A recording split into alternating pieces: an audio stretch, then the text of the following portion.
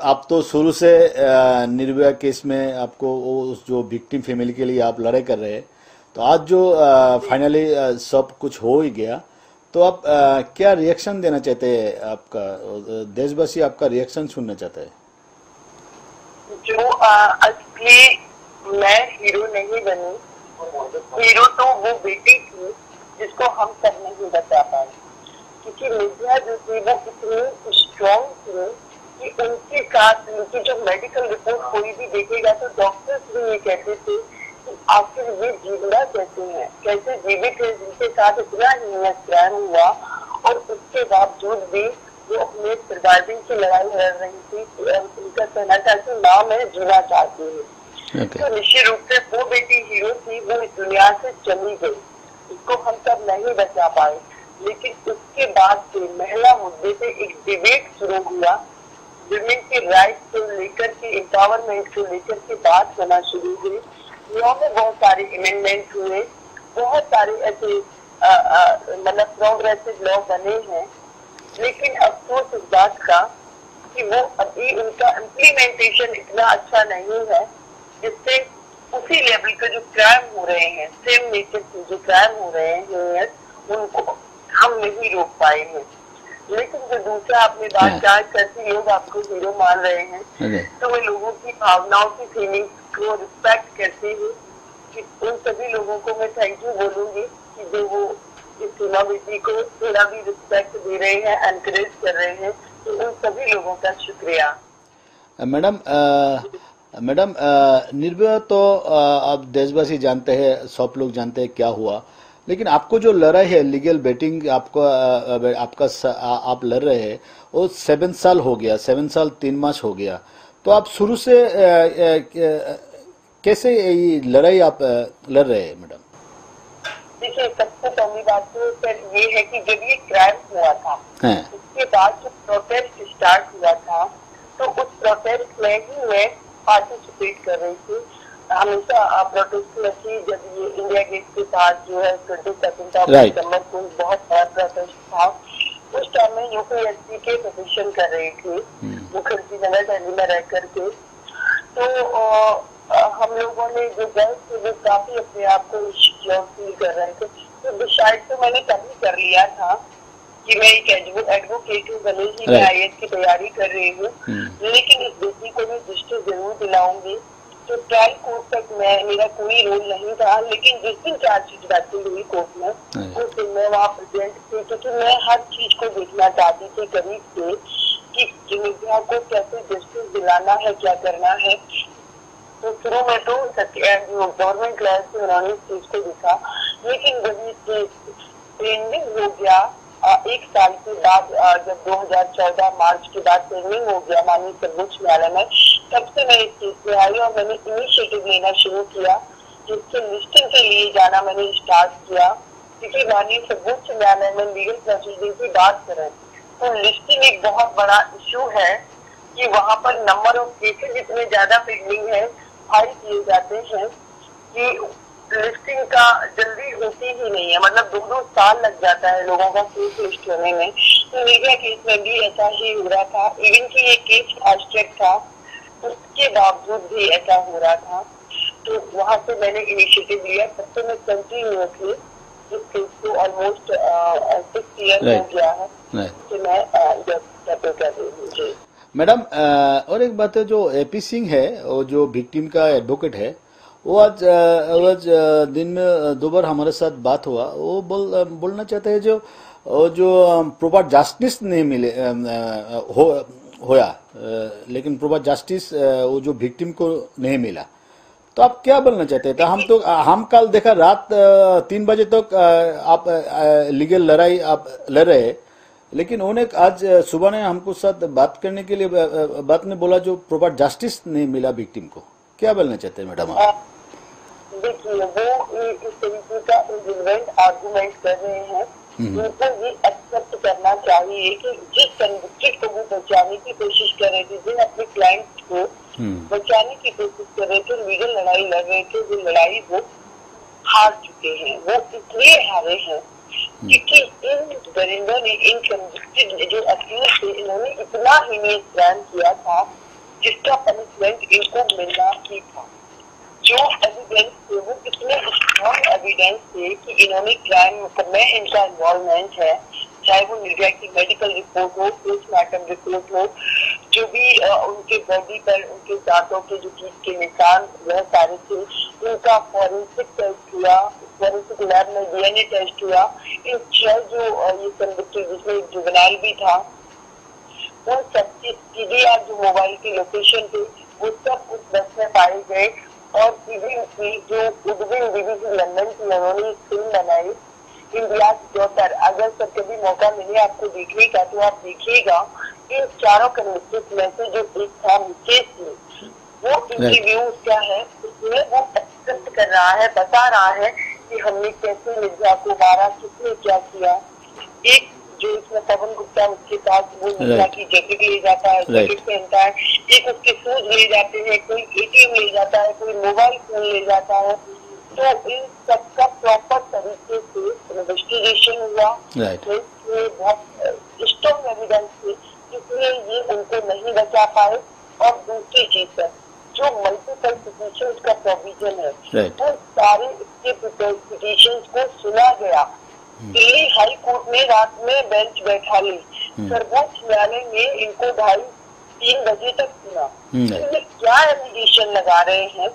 क्या इनको ये अपने जो जो एक्चुअल में एक्चुअल जो जो अपराधी है जो कन्विक्टेड है उनको इनका उनको बचाना क्या आइडियोलॉजिकली बचाना चाह रहे थे?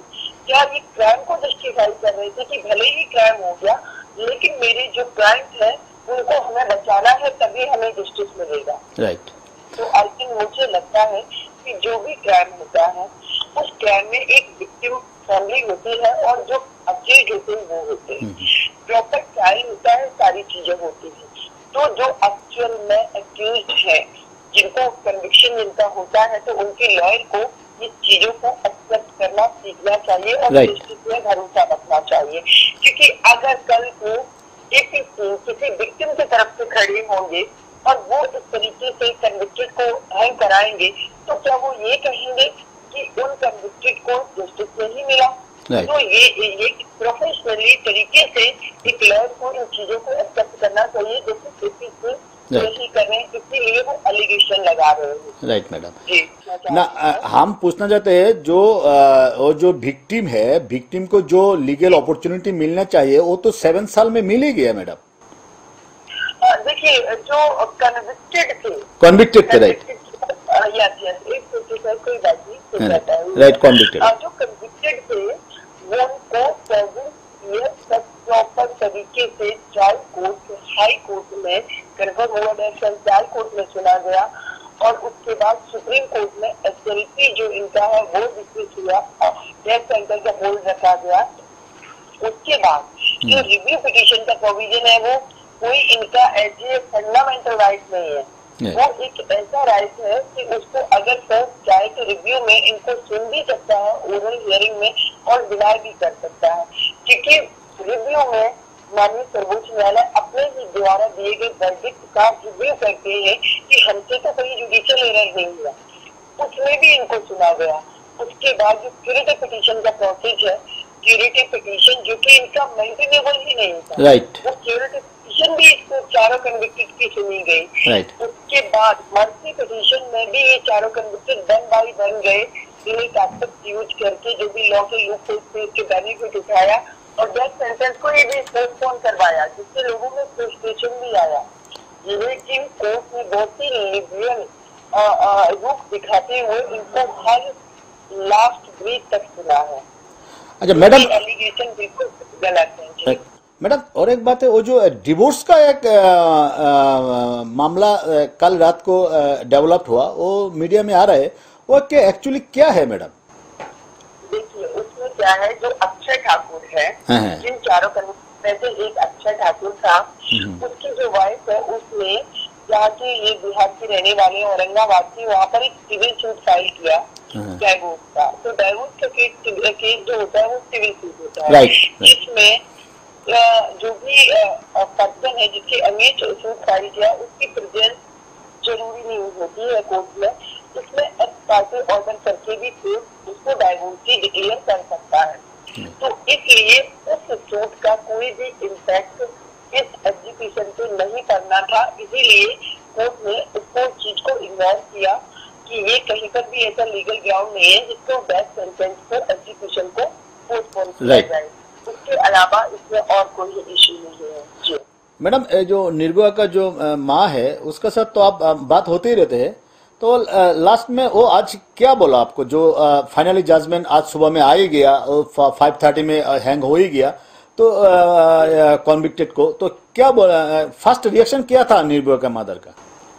निर्भया की मदर का फ़र्स्ट रिएक्शन यही था कि एटलीस्ट वो अपनी बेटी को जिसको बचा नहीं सके उस बेटी को वो न्याय दिला सके। तो, तो उनका कहना था कि मैं आज बहुत सेटिस्फाई हूँ कि अपनी बेटी निर्भया को हम न्याय दिला सके। तो मैडम आप जो। नेशंस को जो आप जो लड़ाई आप सात साल से लड़े एक विक्टिम के लिए निर्भया के लिए सब लोग आपको पहचान गया। तो आप आप क्या मैसेज देना चाहते हैं? एक एक वुमेन एक सीनियर एडवोकेट और एक प्रोमिनेंट पर्सनालिटी ऑफ़ इंडिया आप क्या मैसेज देना चाहते हैं इंडिया वुमेन के लिए मैडम मैं इंडिया की सारी विमेन को इवन की सारी पर्सन को ऑल इंडियन सिटीजन को मैं उसकी बात कहूँगी कि हमारी सोसाइटी में हम्म, जहाँ पर भी कमियाँ है उन कमियों को सॉर्ट आउट हमें सबको कलेक्टिवली वर्क करके करना होगा हम्म, जिससे इस तरीके के जो क्रिमिनल माइंड सेट के लोग सोसाइटी के अंदर सीधे रूप से बैठे हुए हैं हम्म। वो इतना ही ये क्राइम ना कर सके तो उसके लिए कलेक्टिवली वर्क करने की ज़रूरत है और सभी को बहुत ही सेंसिटिव तरीके से भारत के हर परिवार के सदस्य चाहे वो रोड पर मैं देखती हूँ कि लोग जरा सा किसी की गाड़ी में टच होता है। राइट एक दूसरे को इतना मारने लग जाते हैं कि वो पता नहीं कितना बड़ा उनका एनिमी है। तो क्यों नहीं लोग ऐसा महसूस करते हैं कि जो सामने वाला पर्सन है जिससे मिस्टेक हुई है वो हमारे परिवार का मेरा भाई हो सकता है सिस्टर हो सकती है। अगर हम ऐसी फीलिंग रखेंगे तो मुझे लगता है कि नंबर ऑफ़ केसेस जो है 90 परसेंट वो ऐसे ही कम हो जाएँगे। तो इस तरीके का हमें व्यवहार जो है करना बहुत ज़रूरी है। और दूसरा मैं कहूँगी कि अगर इनके इसके बावजूद भी क्राइम होते हैं तो जो गर्ल्स है या जो भी लोग हैं उनको फ्रंट पर आकर के फाइट करनी है। क्रिमिनल. कितना भी बड़ा हो कितना भी पावरफुल हो कितना भी हीनियस क्राइम किया हो उसके आगे खड़े होना बहुत ज़रूरी है। क्योंकि खड़े होकर के अब हम अपोज करेंगे फाइट करेंगे तो डेफिनेटली वो डिफीट होगा।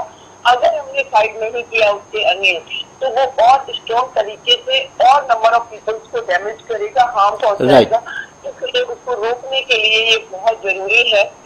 और तीसरी बात कि जो लोग सभी हैं मैं इसकी बात कहूँगी कि जिस तरीके का इंडिया में अभी भी सिस्टम बना हुआ है जिसमें महिलाओं को आप सेकेंड जेंडर ट्रीट करते हैं उनके इक्वल राइट अभी भी नहीं उनको मिल पा रहे हैं तो उसके लिए जो हमारा यूथ है उसको फ्रंट पे उन जो 49 परसेंट आबादी उसके लिए फाइट करनी चाहिए उनके राइट के लिए Right. तब एक्चुअल में रिफॉर्म होगा hmm. और जो फीमेल है hmm. उनको भी अपने राइट के लिए फ्रंट से आना होगा चाहे वो फैमिली के अंदर उनको अगर फाइट करना पड़े फैमिली में अगर मोलिस्टेशन है तो उसके अगेंस्ट भी फाइट करना पड़े तो करना चाहिए चाहे वो सोसाइटी में हो ऑफ़िस Right. में हो पब्लिक प्लेस पे हो कहीं पर भी हो उनको फाइट करना बहुत ज़रूरी है जिससे एक बैलेंस सोसाइटी बनेगी जिसमें इतने हीनियस क्राइम नहीं होंगे। यही मैं देश के लोगों को मैसेज दूँगी और सभी देशवासियों को मैं शुक्रिया अदा करूँगी कि इस बेटी को वो इतना प्यार दे रहे हैं। जी। मैडम हेडलाइंस त्रिपुरा में अ, बात करने के लिए आप बहुत बहुत शुक्रिया। नमस्ते madam. Thank you so much sir thank you